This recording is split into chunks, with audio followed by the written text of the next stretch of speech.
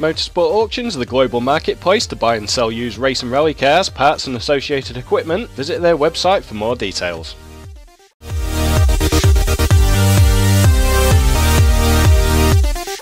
Good morning, everybody. Welcome to our final special event of the year. We're at Phoenix Road Course for Flight of the Phoenix. It's a multi-class event featuring the Cadillac CTS-V, the Holden VF V8, the FG01, and also the Ford Falcon.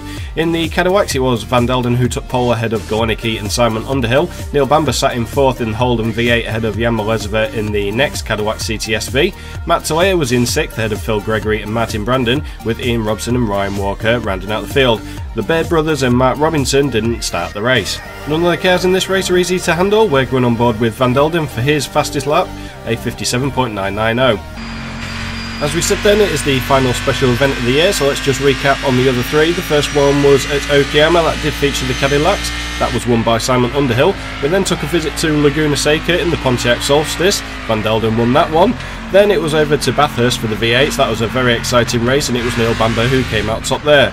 We're expecting this one to be a bit different though, because as we've seen with the Z4s and MX5s, running into traffic can cause all sorts of problems, and with four different cars on the grid, we're sure to see some action during the race. Our special events give everybody the chance to top up their points for the year. This all goes towards the Driver of the Year standings. On top of the moment, it is still Van Delden ahead of Neil Bamber. Then in third, it's Simon Underhill ahead of Chris Butterill. The overall winner of Driver of the Year will receive $50 in the form of iRacing credits courtesy of Bodin Solutions. They'll also receive a Driver of the Year t-shirt from Acorn Printing, who are our official teamwear supplier. There are still four races to go in the BMW and MX5 Championship, so we will see what happens there with Van Delden and Neil Bamber. So that is Van Delden coming up to complete his qualifying lap, a 57.990. Let's get down to the start of the race and see how everything kicks off. Acorn Printing are the teamwear supplier for Bosra and have even produced clothing items for President Clinton. See the video description to learn more.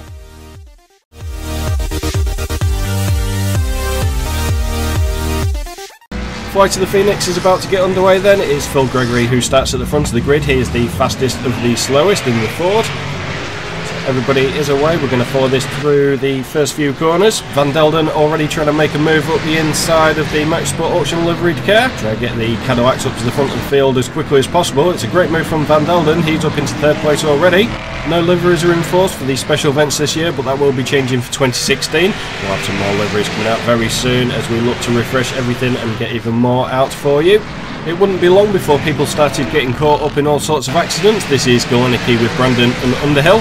Slight tap there spinning the car out. Everybody else trying to avoid the 82 car of Martin Golenicki. Martin rejoining the race then at the back of the field. He gets the Cadillac back on track. Moving on, this is Ian Robson now. We're going to follow him. See a couple of the cars going wide through there, to using as much of the tarmac as possible. Ian was chasing Martin Brandon. He was using the Motorsport Auction livery for this race.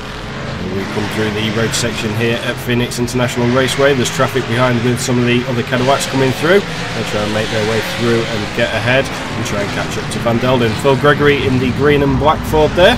There's a slight tap as they come back onto the oval part of the circuit with Martin Brandon doing a 360 and rejoining further behind. Golenicki soon made his way back up the field. This was him right on the tail of Neil Bamber in the Holden. Coming down the main straight, the power of the Cadillac showing, coming up the inside of Neil. Neil not having an answer to the move. Neil pulling wide to keep out the way and then allowing him to pass. Ryan Walker then demonstrated just how difficult these cars are to handle. Mind you, it was an impressive drift though, coming round the corner and onto the oval part of the course. Fantastic control from Ryan to keep it going and in a straight line. With it being multi-class, it wouldn't be very long before car started to be lapped. This was demonstrated very early on. Matt Talea, this was Simon Underhill and Ian Robson all going through. Everyone try to keep out of everybody else's way. Ian Robson making the mistake. A very slight tap on the back of Talea's car. He did pick up damage there when needed to go to the pits.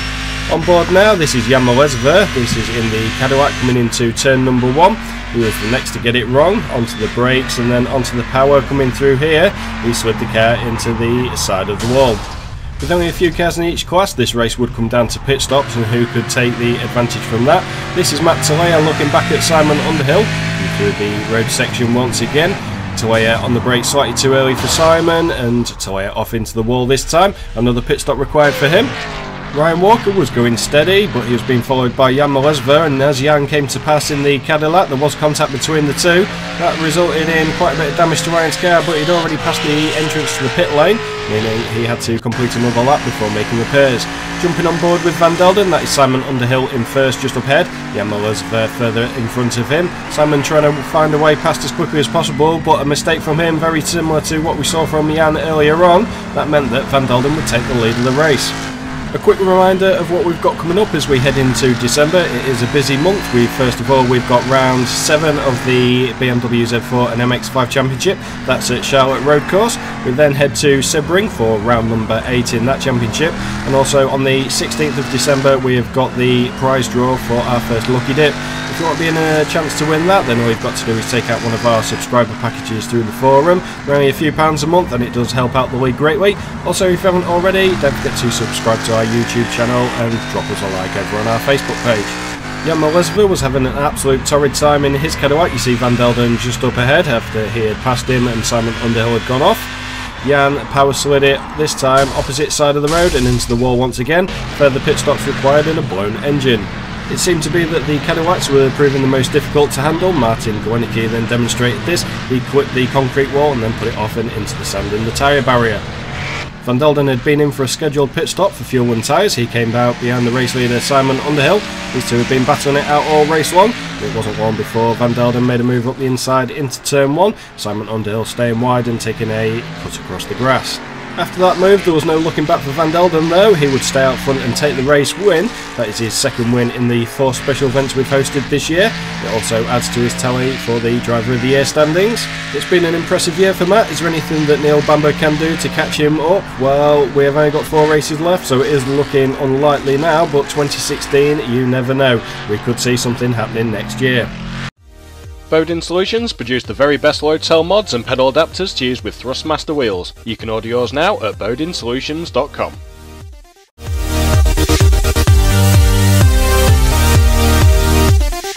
To the race results for the final special event of the year, to the Cadillacs it was Van Delden who took the win ahead of Underhill and Goenicke, Jan Malesva finishing 9th overall. Neil Bamber then came home in 4th but first in his class in the Holden VF V8, Matt Talea in 10th in the other Holden V8. In the Ford Falcons and the FGO ones, it was Martin Brandon ahead of Phil Gregory. Ryan Walker was in 7th overall ahead of Ian Robson.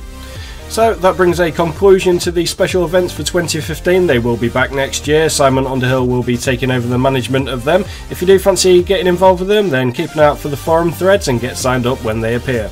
That is it from us this week. Don't forget to join us next week for round 7 of the BMW Z4 and Mazda MX5 Championship. That's coming from Charlotte Road Course at night race. Then we head to Sebring the week after. So until next time, thank you ever so much for watching. We'll see you again soon. Bye bye.